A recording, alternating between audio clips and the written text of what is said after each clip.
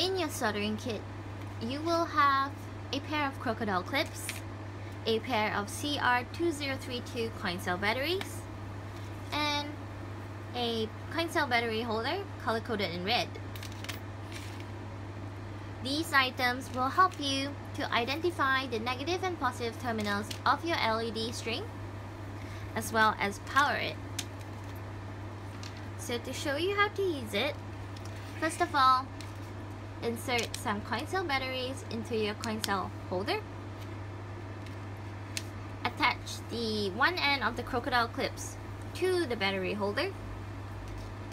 And now, to attach the other end of the crocodile clips to the LED string, which as you can see, we don't know which sides are the negative and positive terminal, which is why this step is necessary. So I'm gonna go ahead and clip this and there's a little switch on the battery holder. I'm gonna try to turn it on. As you can see, the LEDs have not worked. So again, I'm gonna try the opposite polarity.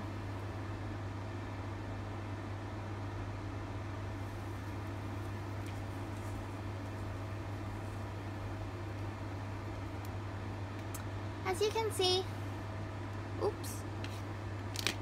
So as with alligator clips, it is important to note that um, it can be a little bit loose the connections can be a little bit loose and the reason for this is because it's just simply clipping.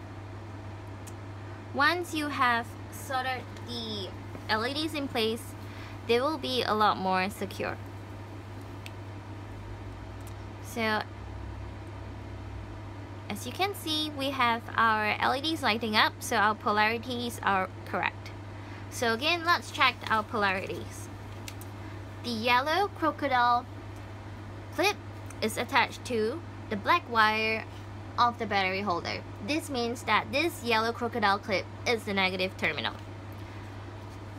And therefore, the opposite color, which is green, is the positive terminal.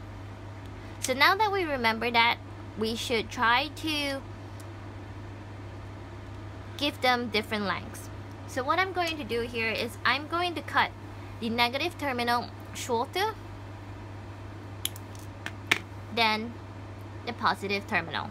So this way I know that without the crocodile clips, this is the positive and this is the negative.